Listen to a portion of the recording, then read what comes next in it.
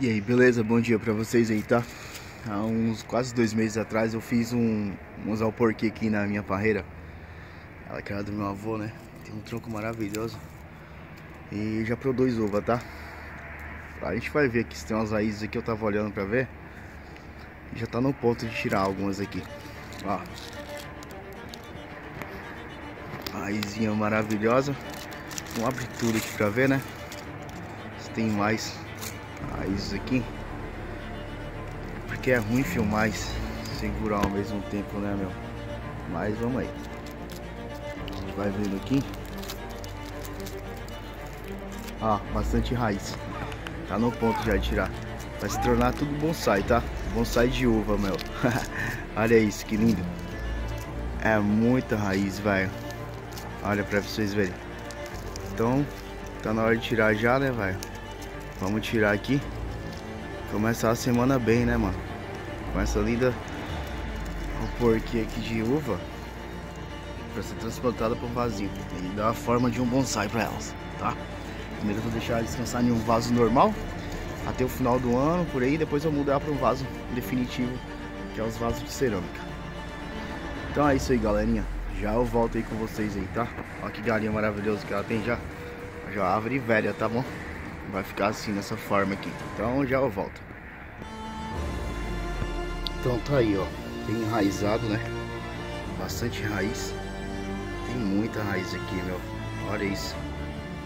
Vingou bastante as raízes aqui. Pra vocês que nunca viram bonsai de uva, vamos ver agora, tá? Já eu tô voltando pra concluir o serviço aqui. Lembrando, tá? Ela já produz uva. É uva Niágara, tá? Uva Niágara. Então é isso aí. Vamos colocar no vasinho agora, né? E da forma que eu preciso dar pra ela aqui. Então agora ela vai ficar dessa forma aqui, ó. Pra vocês verem aqui, ó, quanta raiz. Eu deixei dessa forma aqui por enquanto. Ela vai pra esse vasinho.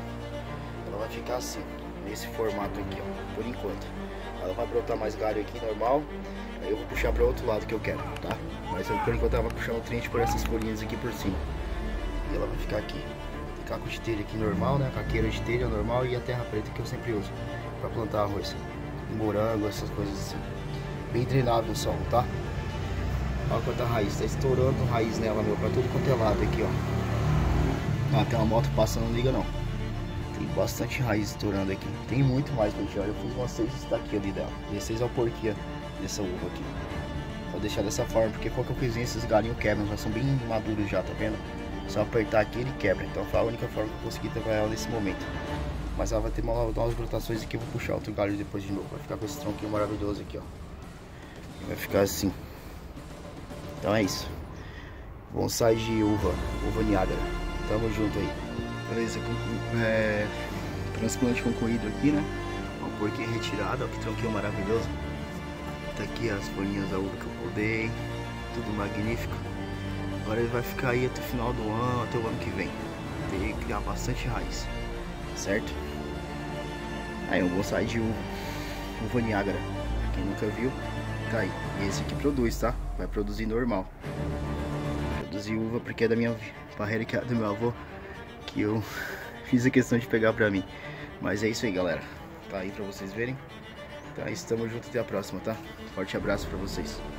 Tem mais algo porquê pra tirar. Quando assim que for tirando, eu vou postando um vídeo pra vocês seguirem aí e ver, tá? Deixar um link na descrição pra vocês também.